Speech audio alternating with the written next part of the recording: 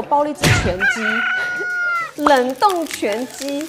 我真的是拍戏这么久，第一次收到男主角给我的礼物是冷冻全鸡。这时候再送你鸡蛋，然后我那我回去可以付吗？不行的，你要可以孵得上，我就给你的，但你要孵得出来。我我一直想让他说下次拿给你煮，就是明天。他也跟我讲说你要小心，因为那个蛋是散。我说好，看我回家都破了。你拿他水杯走啊！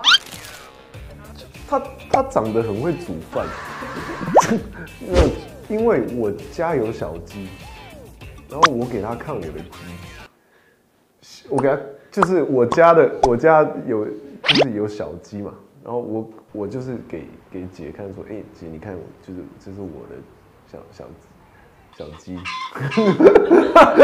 怎么讲起来都好奇怪。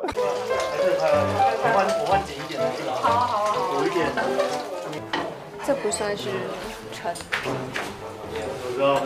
因为我本来的想法是先让那个红黄椒过油，就是那个蔬菜调味放在里面，然后鸡肉再过油，然后呢把油去掉之后再炒在一起。结果呢，因为位置没有找到可以就是去掉油的地方，所以就只好就是就是，但它不是成品，它不是。他长得很会煮饭，